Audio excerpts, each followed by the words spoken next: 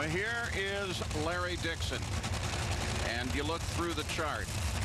Down there, 50 wins. For Nitro drivers, that's pretty good company there, huh, Paul? John Force, Kenny Bernstein, Tony Schumacher, and Joe Amato. Well deserved, though, for Larry Dixon. He is a great race car driver. Yeah, a little five-person club. Not bad to belong to that. Steve Faria is on the other side. He only raced at the Winter Nationals this year. He started 16th and lost in the first round to Corey Mack. Whoa.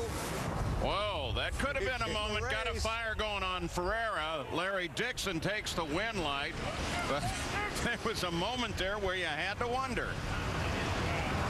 It was close when we saw Gary starting to spin the tires, or Larry starting to spin the tires. We thought, uh-oh, he might be in a little bit of trouble because Steve Faria was hooked up and running pretty good early in the run before that cylinder went out.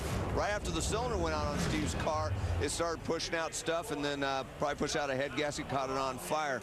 If you take another look at wheels up, nice launch there, good numbers to this point, and then right, right about here, you're going to see that cylinder go out.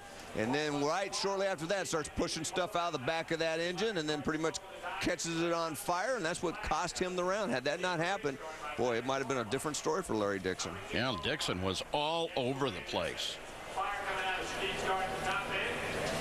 Here's the Lucas Oil photo finish cam as Dixon comes across the line, even with the fire right behind him.